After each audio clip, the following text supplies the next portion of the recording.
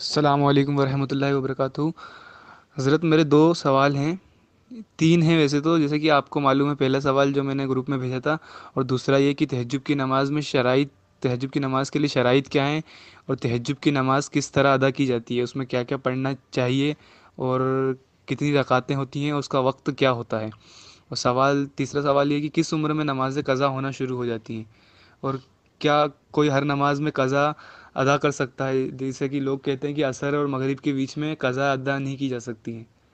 तो इसका जवाब आता फरमा जी। और आप मेरे चैनल का नाम लेके सवाल का जवाब दीजिएगा तो ताकि मेरा चैनल प्रमोट भी हो सके। और इससे लोगों को मेरे चैनल और लिंक भी आप डाल दीजिएगा मेरे चैनल की ताकि लोगों को ढूँढने में आसानी हो।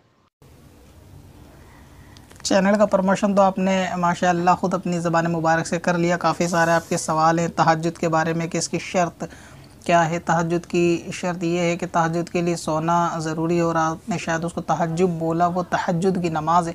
और इसके लिए ईशा के फ़र्ज़ पढ़ने के बाद आदमी को सोना ज़रूरी है और कुछ वक्त अगर वो सो जाए, चाहे एक मिनट या दो मिनट के गाफिल हो जाए तो उसके सो के उठने के बाद वो तहजद पढ़ सकता है। और तहजद में ये ज़रूरी नहीं है कि बहुत से लोग इस गलत फहमी में रहते हैं कि शायद रात के 12 बजे तहजद का वक्त होता है या 12 के बाद होता है, पहले नहीं होता है ऐसा नहीं है।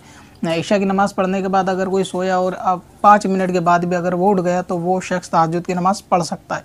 इसी तरह इसमें क्या पढ़ा जाएगा तो तहजद की रकात कम से कम दो हैं, ज़्यादा से ज़्यादा आठ भी पढ़ सकते हैं और बाज़ के नज़दीक बारह भी, मगर ये कि हजूर सलाम से आठ रकातें साबित हैं, लिहाजा तहजद में दो रकात, चार रकात छः रकात या आठ जितनी तोफ़ी हो और क़वत हो, वो रकातें पढ़ लेनी चाहिए।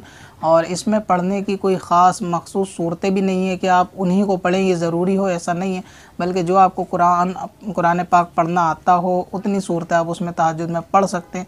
इसमें किसी तरह की कोई हरज और कबाहत नहीं है, बल्कि ये एक नफिल नमाज़ है तो इसमें चाहिए कि जितना कुरान पाक आप पढ़ सकते हैं, वो पढ़ ले। जो सूरत आपको याद हो, आम नफिल नमाज़ की तरह, वो नमाज़ के अंदर पढ़ सकते हैं। इसकी रकातें भी मैंने बता दी, वक्त भी मैंने बता दिया। आपने पूछा कि किस उम्र में कज़ा नमाज़ होना शुरू हो जाती है तो कज़ा जो लड़का होता है, वो बालिग होने की उसकी उम्र 12 से लेकर 15 है और 15 के बाद, यानी इस दौरान अगर एहतलाम होगा तो जब से नमाज़ फ़र्ज़ होंगी और जो फ़र्ज़ नमाज़ छोड़ेगा तो वो कज़ा के हुक्म में जाएँगे। अगर कोई इसकी अलामत नहीं है 12 से 15 के बीच में तो 15 साल लड़के के लिए ये बलोगत के एतबार किए जाएँगे, यानी बालिग उसको शुमार किया जाएगा और पंद्रह के बाद से जो नमाज़ें उसकी छूटेंगी, वो कज़ा शुमार की जाएँगी। इसी तरह लड़की के लिए नौ से बारह तक का वक्त है कि इस दौरान उसको जब पहला हैज़ आएगा, वो बालिगा शुमार की जाएगी और अगर नौ से बारह में कोई हैज़ उसको नहीं आता तो बारह साल की उम्र में उसको बालिगा करार दे दिया जाएगा और उसके ऊपर सारे अहकाम यानी पर्दे, नमाज़, रोज़े के वो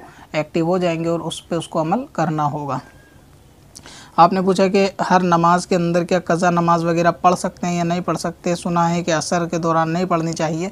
तो हर नमाज़ के बाद कज़ा नमाज़ पढ़ सकते और वो मकरू वक्त के जिनके अंदर नमाज़ मना है और वो असर के बाद नहीं है, बल्कि मगरिब की नमाज़ से 20 मिनट पहले का वक्त है। इसकी मिसाल इस तरह समझे कि अगर 6 बजे का वक्त आज मगरिब का है तो पाँच बज के चालीस से लेकर और छः बजे तक ये आखिर के बीस मिनट मकरू होंगे, इसमें कज़ा नहीं पड़ सकते। और इससे पहले, यानी पाँच बज के चालीस मिनट से पहले असर के बाद और मकरू वक्त से पहले अगर कज़ा नमाज़ें पढ़ी जाएँगी तो इसमें कज़ा नमाज़ अदा हो जाएँगी। इसमें पढ़ने में कोई हरज नहीं है। बाद लोगों में ये मशहूर है कि असर के बाद कज़ा नहीं पढ़ते तो वो असर के बाद उस वक्त नहीं पढ़ते कि जब वो मगरिब के करीब का वक्त हो, यानी मगरिब से बीस मिनट पहले। और बीस से ज़्यादा पहले, यानी आधा घंटा, पौन घंटा हो अगर साढ़े चार बजे असर ख़त्म हो गई तो साढ़े चार से लेकर साढ़े पाँच, एक घंटे तक ये असर की नमाज़ कज़ा पढ़ सकते हैं। इसमें भी कोई हरज नहीं है और कज़ा नमाज़ के लिए भी तो तरीक़ेकार है वो। मैंने इस चैनल के ऊपर पहले बता भी रखा है कि कज़ा उम्री किस तरह निकालते हैं, कि कज़ा नमाज़ और उसको अदा किस तरह करते हैं, उसका शॉर्ट तरीका भी मैंने बता रखा है। अब रही प्रमोशन की बात की जो आपने ऑलरेडी अपने ज़बान से कर लिया है कि कैफ बाई का एक चैनल इस्लामिक चैनल यूट्यूब के ऊपर और उसके अंदर नात बयानात वगैरह भी रहते हैं। उसके अंदर आप तकरीर, बयानात, ये शॉर्ट क्लिप के अंदर सुन सकते हैं। चैनल का नाम अहल सुन्नत व जमात तमाम मम्बरान से ये गुजारिश है कि एक मरतबा उस चैनल पर भी तशरीफ़ ले जाए और वहाँ के मवाद से भी फ़ायदा हासिल करें।